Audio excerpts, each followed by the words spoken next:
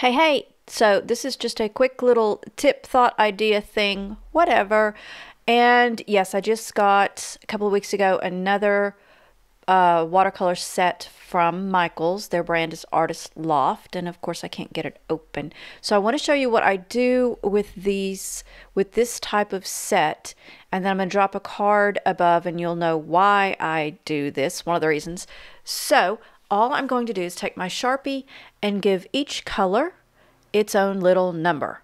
And you know, or you're finding out that I'm all about how do I identify what color is what and how I'm going to do it again and all that kind of stuff. So, this is what I've done. And the reason I do that is if I'm mixing colors, I want to know which ones I mixed so I can go back and do it again for the really cool ones.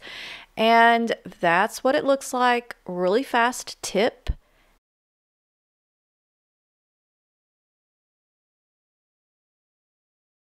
And this is the one that I use all the time, Hot Mess. So, a super easy way to keep mixing your same favorite colors.